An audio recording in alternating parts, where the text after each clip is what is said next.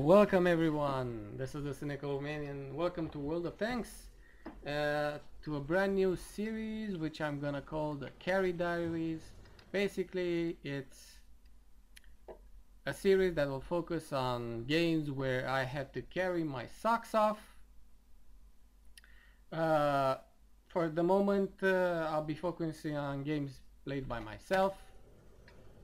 Um, because I really don't have time to first of all I don't have enough uh, uh, viewers to even consider asking for replays from other people. Uh, alternatively I might ask for some replays from some close friends but for the moment I'll focus on games that I play myself.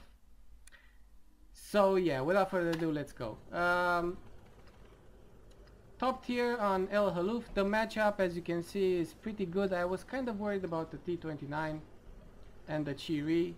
Uh, obviously, the two best, uh, statistically best players on their team. On my team, well, stats. People, some people say stats aren't everything. Some people say stats are everything. I am of the opinion that uh, stats are a good indicator of the kind of people you're gonna encounter uh, so yeah. Anyway what I usually do in my heavy tanks uh, regardless of tier on this map I go over here on this corner and side scrape uh, side scrape against uh, or alternatively if I if I'm in a tank with uh, good gun depression like for example T29 I go over here. This is another good place. You can put shots in on tanks that are traversing uh, from that location over to here. It's an excellent uh, excellent location for a T29 or T32 or T34 anything with uh, good gun depression. Uh, but IS2 has anything but good gun depression has 5 degrees if I'm not mistaken. So I elected to come over here.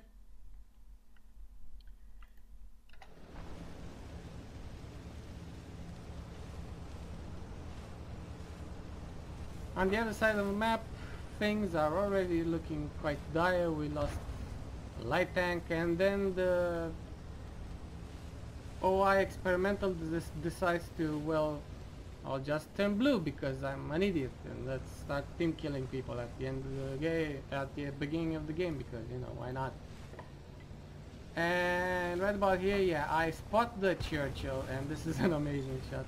I spot the Churchill and I think to myself, hmm, Churchill, let's do this.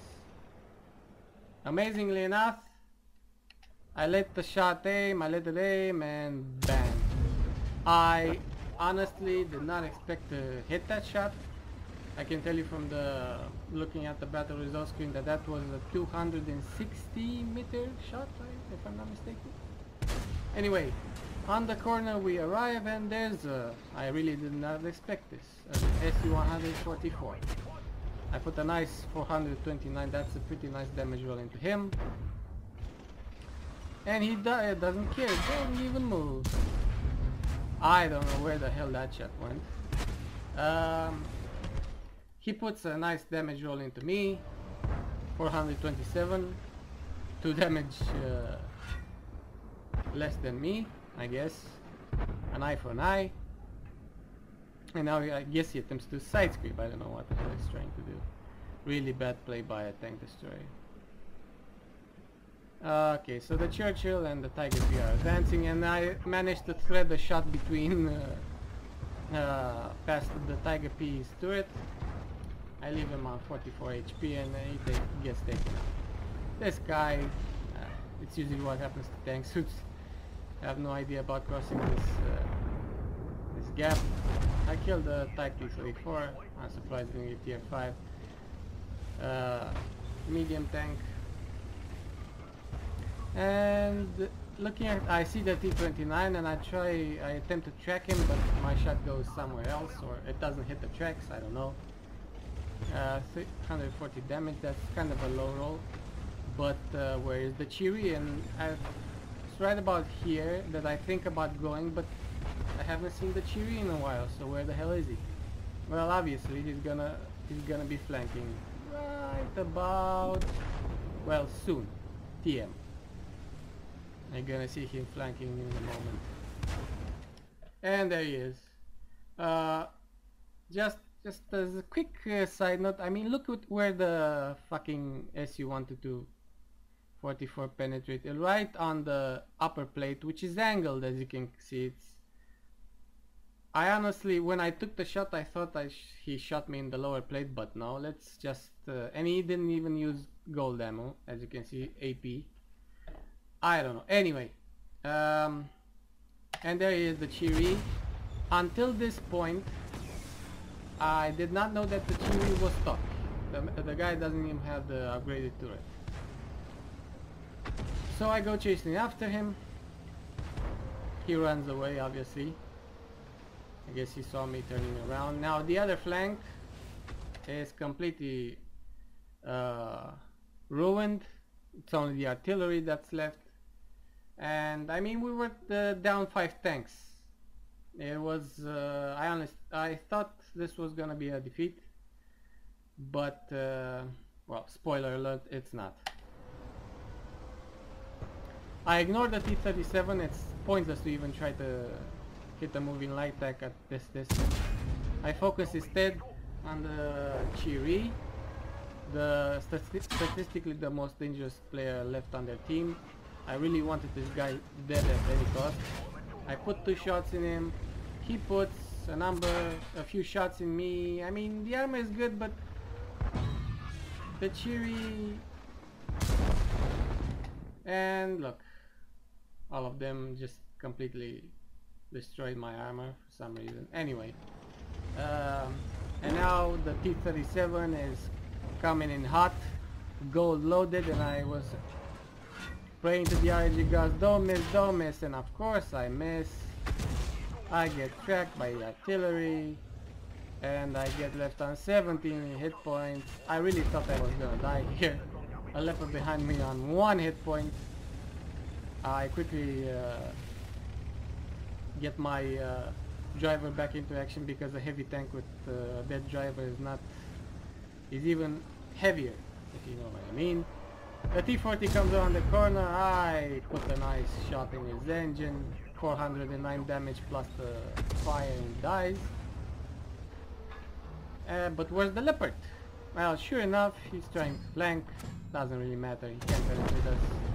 I kill him, and yeah it's about here. I well I'm really worried because I'm on 17 hit points.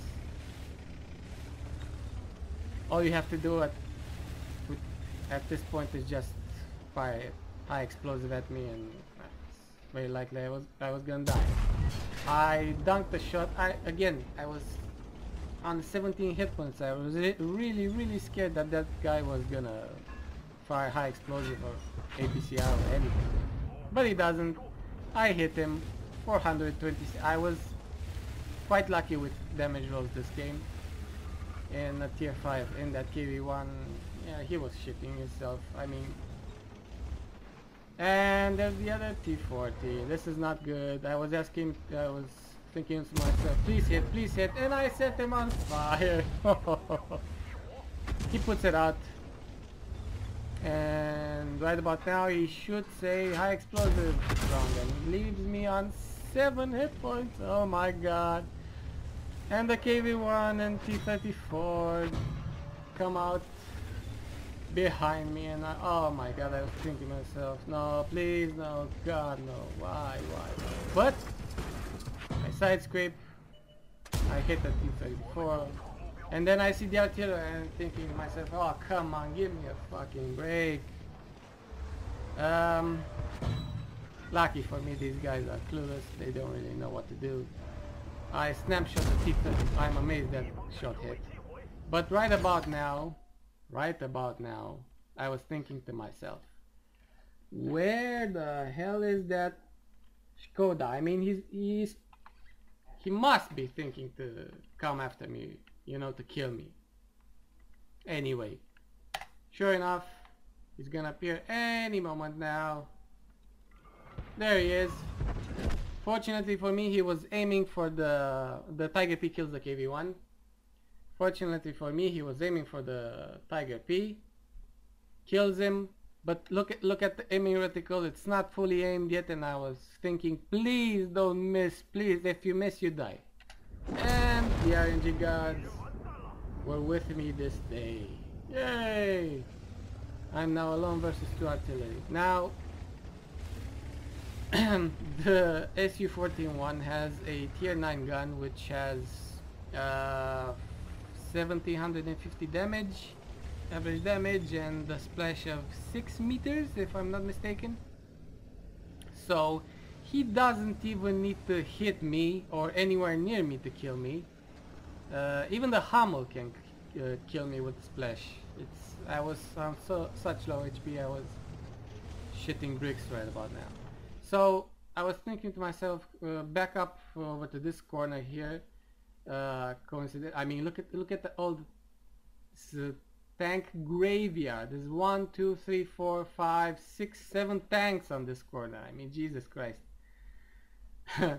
I was thinking to myself, back up over here, I can see, I can, I have line of sight uh, over these two uh, approaches over here. If one of the artillery comes through here, I, I'm gonna be able to hit them, and alternatively, if they try to flag me, I'll uh, proximity spot them. So I back up, up over in this position, and then I try to reverse side scrape and then there's the SU-14-1. He sees me, he shits his pants, as he should. He backs up. And I wanted to go and but I think to myself, but wait, what if the Hummel is aiming at this precise location right now? I mean, that's what that's what you would do, right? and I decide to break contact, back off, uh, reverse over 50 meters so I'm not spotted anymore and yeah I keep reversing until I'm not spotted and then I uh, decide to go and flank him. This tank graveyard man it's just amazing. Amazing how many tanks died here. Yeah. So at this point I wasn't really worried about the SU-14-1 so much as uh, I was worried about the Hummel. And the good player would have uh, would have turned it around by now, but he's not a good player, so herp derp, I kill him. I, I had a high explosive round loaded, it was highly unlikely not to one-shot him. Um, and then I stop on the corner I wait uh, till I'm uh, not spotted anymore basically I try to I uh, fake the Hummel out in in case I came around the corner not to get shot and instead I elect to go down here. And from here on out it's a case of uh, me I was thinking to myself well normally I I don't usually cap. I usually go for the kills but in this case I mean I was on 7 hit points. Uh, there were 4 minutes left and I thought to myself what if the what if the Hummel is going for the for my cap right now? The ISU the IS-2 is uh, is not a slow heavy tank but it's not incredibly fast either. If if the Hummel would have entered the entered my cap right about now, I don't think I would have had enough enough time to to get back and reset. Remember, this is uh, this is normal, not encounter, so it takes a minute and 39 seconds to cap. It's I honestly don't think I would have time. I would would I have time to go back and reset. Anyway, I place myself in the cap and yeah not uh, not much to say about. I wait for the Hummel. I aim at the likely location. I thought he was in that uh, alcove over there. I hear some splash noises. Uh, guess he was trying to blind shot me, but it didn't really it didn't really work out for him. And now I wait. Does he hit me? Does he get lucky and hit me? Uh, well, I really hope he doesn't. Yeah,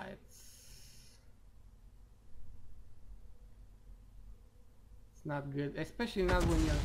And there's another splash. I was kind of, I was worried. I see you see me moving right now. I thought maybe move, uh, move forward, move back. Uh, what? Will he get lucky? Will he not get lucky?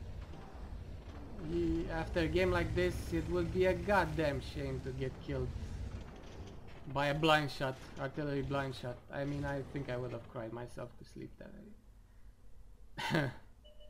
and there's the Hummel. I tried to hit him, but no shot. And I, um, I back up. I back up to the edge of the cap circle. Put uh, myself, uh, put this small ridge between myself and him and like I said normally I would have gone for the kill but I was so low HP I was literally shitting myself that he would get lucky and hit me or whatever so I elected to go the safe way and cap and I did.